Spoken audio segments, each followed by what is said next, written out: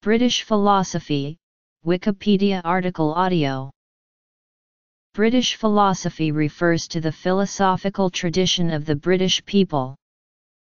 Saint Anselm of Canterbury was an important philosopher and theologian of the Catholic Church, who held the office of Archbishop of Canterbury from 1093 to 1109. Anselm is famed as the originator of the ontological argument for the existence of God and of the satisfaction theory of atonement. Anselm's works are considered philosophical as well as theological since they endeavor to render Christian tenets of faith, traditionally taken as a revealed truth, as a rational system. Medieval period Anselm of Canterbury Roger Bacon, also known as Dr. Mirabilis, was an English philosopher and Franciscan friar who placed considerable emphasis on empirical methods.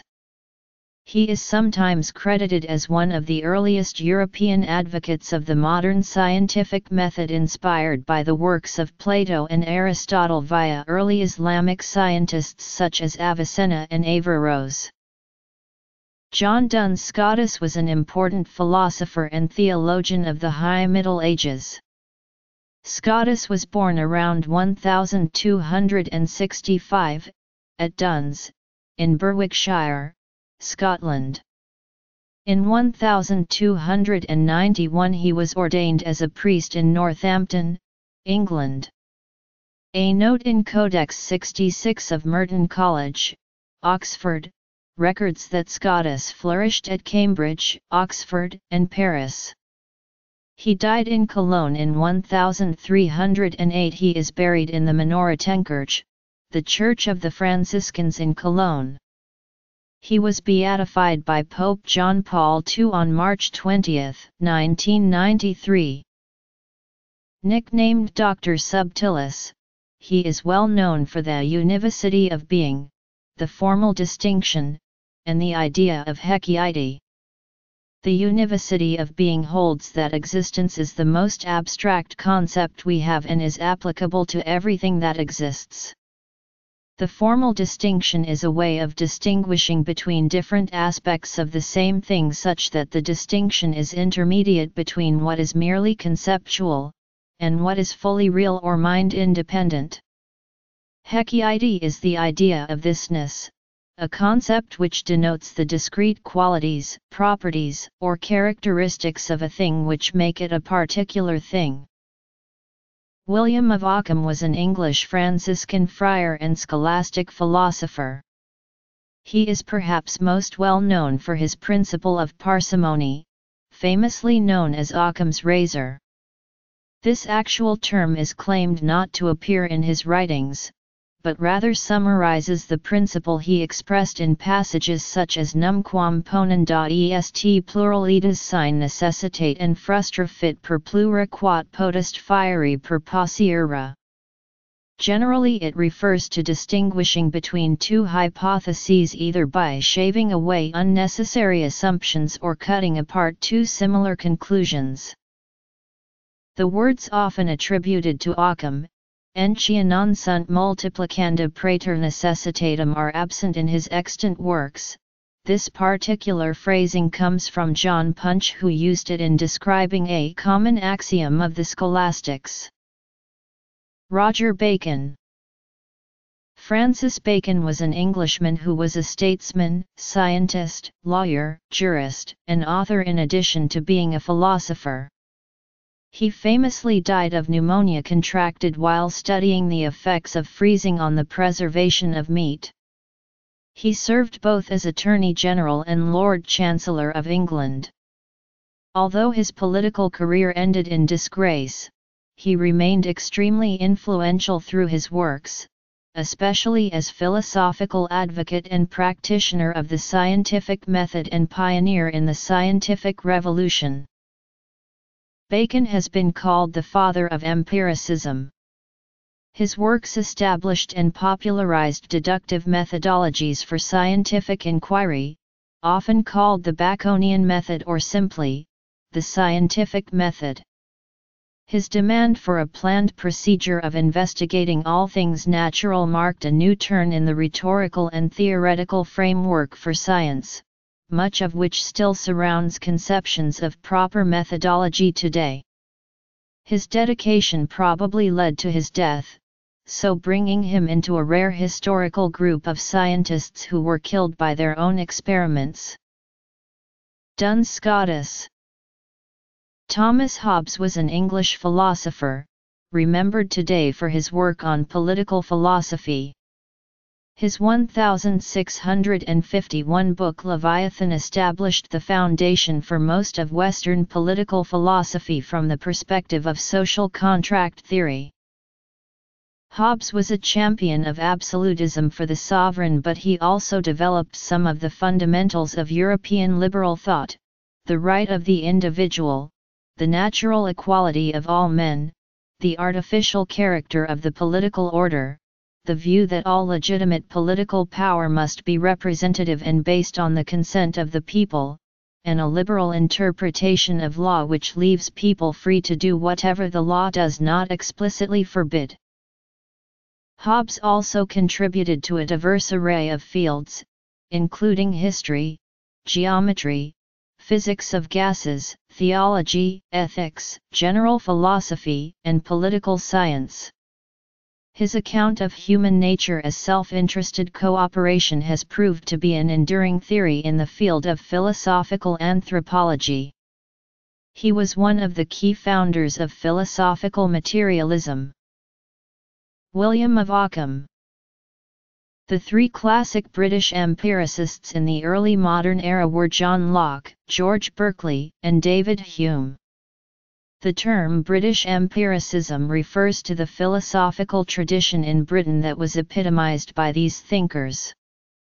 Berkeley, despite being Irish, was referred to as British as County Kilkenny, where he lived in Ireland, was a part of the United Kingdom of Great Britain and Ireland at the time.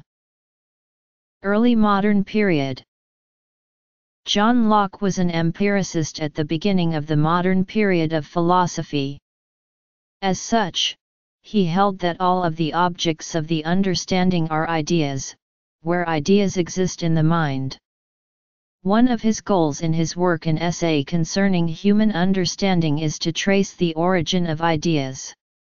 There are no innate ideas stamped upon the mind from birth, and all knowledge is rooted in experience.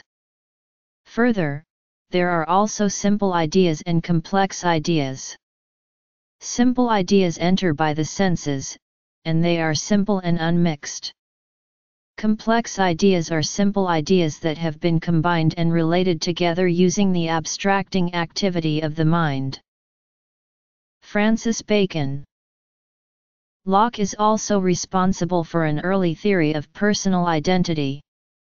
He thought that our being the same person from one time to another consists, not in our having the same soul or the same body, but rather the same series of psychological connections. For Locke, to be a person is to be an intelligent thinking being that can know itself as itself, the same thinking thing in different times and places. George Berkeley was an Irish philosopher who served as Bishop of Cloyne from 1734 until his death.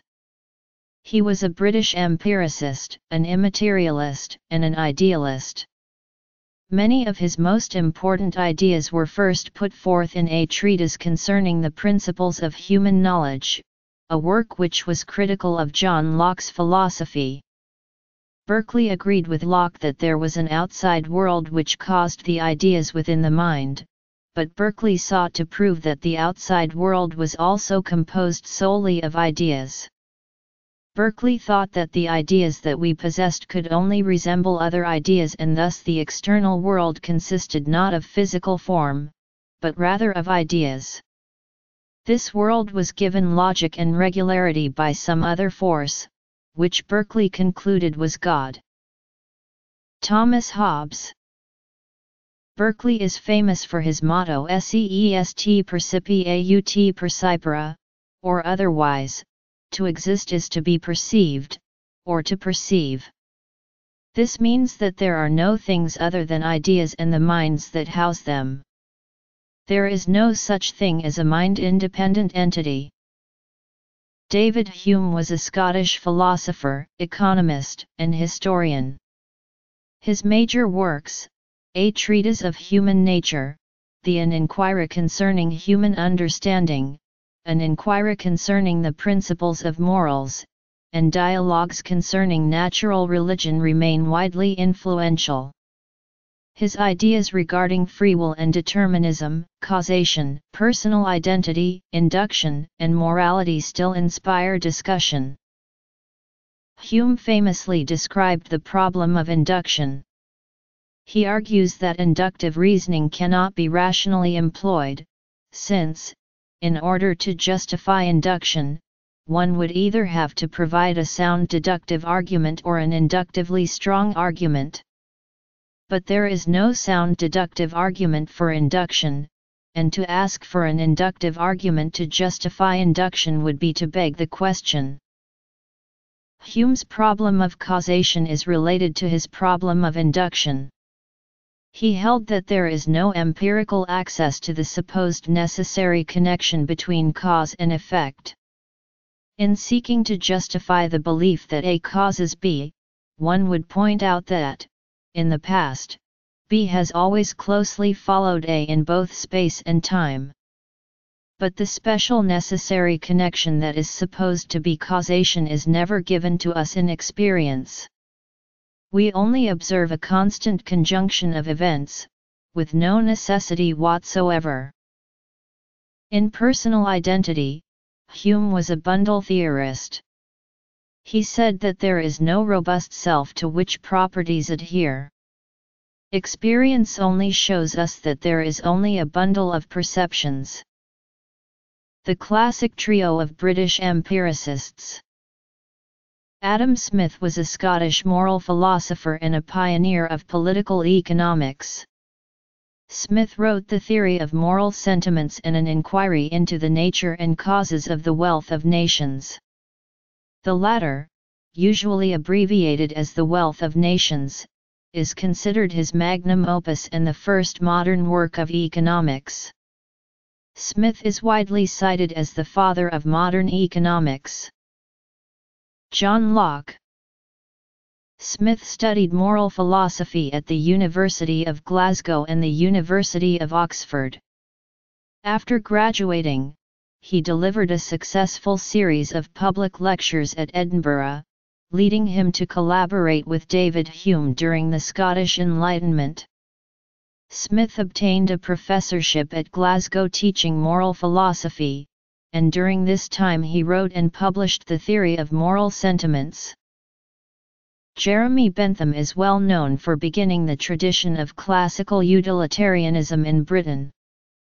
Utilitarianism is a consequentialist theory of normative ethics which holds that an act is morally right if and only if that act maximizes happiness or pleasure.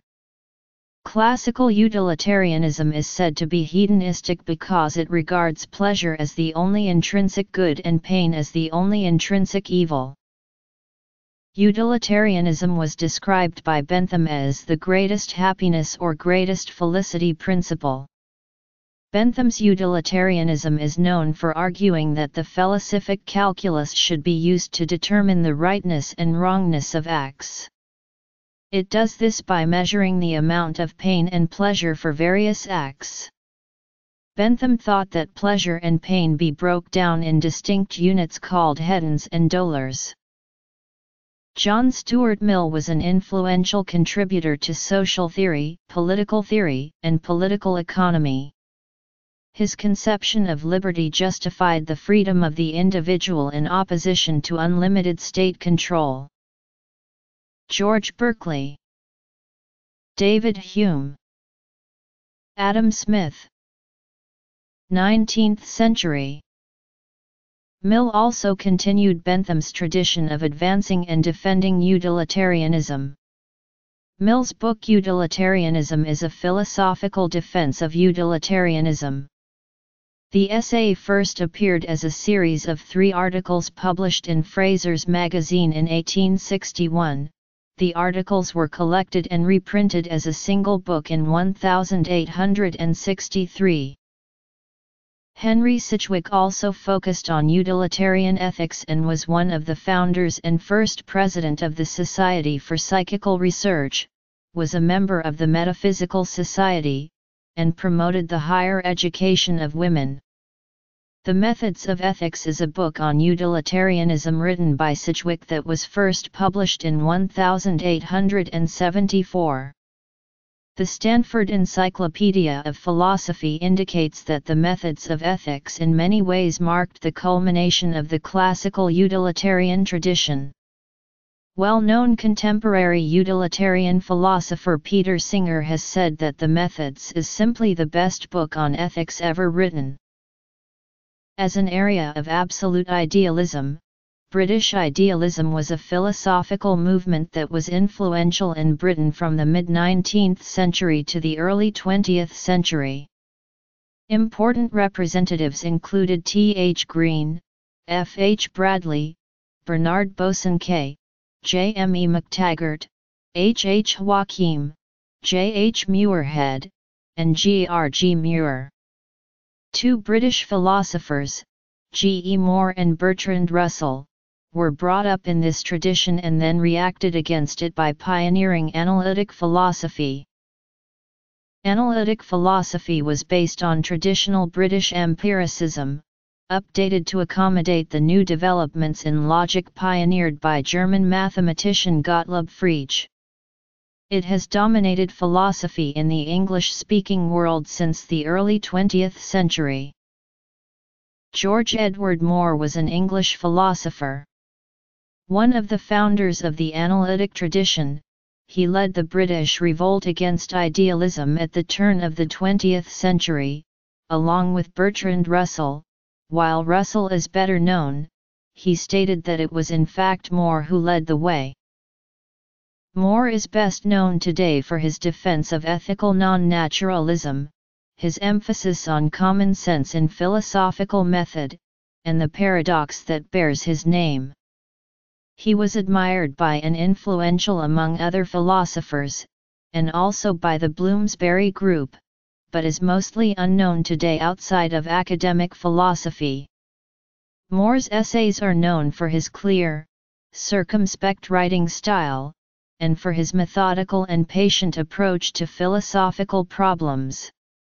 He was critical of philosophy for its lack of progress, which he believed was in stark contrast to the dramatic advances in the natural sciences since the Renaissance. He often praised the analytic reasoning of Thales of Miletus, an early Greek philosopher, for his analysis of the meaning of the term landscaping. Moore thought Thales' reasoning was one of the few historical examples of philosophical inquiry resulting in practical advances. Among his most famous works are his book Principia Ethica, and his essays, The Refutation of Idealism, A Defense of Common Sense, and A Proof of the External World. He was president of the Aristotelian Society from 1918 to 1919. Jeremy Bentham Bertrand Russell led the British revolt against idealism in the early 1900s, along with G. E. Moore.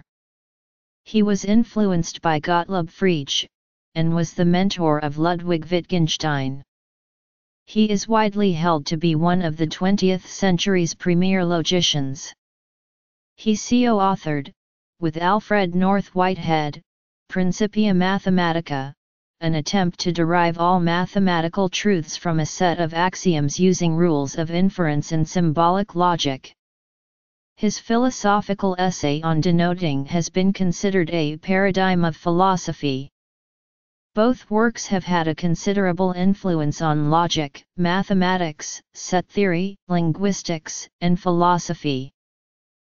Russell's theory of descriptions has been profoundly influential in the philosophy of language and the analysis of definite descriptions. His theory was first developed in his 1905 paper on denoting. Russell was a prominent anti-war activist, he championed free trade and anti-imperialism. Russell went to prison for his pacifist activism during World War I. Later, he campaigned against Adolf Hitler, then criticized Stalinist totalitarianism, attacked the United States of America's involvement in the Vietnam War, and finally became an outspoken proponent of nuclear disarmament. John Stuart Mill Henry Sidgwick British idealism In 1950, Russell was awarded the Nobel Prize in Literature, in recognition of his varied and significant writings in which he champions humanitarian ideals and freedom of thought. Sir Alfred Jules Ayer, better known as A.J. Ayer or Freddie to Friends, was a British analytic philosopher known for his promotion of logical positivism, particularly in his books Language, Truth, and Logic and the Problem of Knowledge. Ordinary language philosophy is a philosophical school that approaches traditional philosophical problems as rooted in misunderstandings that philosophers develop by forgetting what words mean in their everyday use. This approach typically involves eschewing philosophical theories in favor of close attention to the detail of everyday language. Sometimes also called Oxford philosophy, it is generally associated with the work of a number of mid-century Oxford professors, mainly J. L. Austin, but also Gilbert Ryle, H. L. A. Hart, and P. F. Strawson. It was a major philosophic school between 1930 and 1970. 20th century and beyond. Recent British philosophers particularly active in the philosophy of religion have included Antony Flew, C.S. Lewis, and John Hick. Important moral and political philosophers have included R. M. Hare and Alasdair MacIntyre. Other recent figures in the British analytic tradition include David Wiggins, Derek Parfit, and P. F. Strawson, who have focused on fields such as metaphysics, philosophy of mind, logic, and the philosophy of language. Analytic philosophy G. E. Moore Bertrand Russell A. J. Ayer Ordinary language philosophy Contemporary times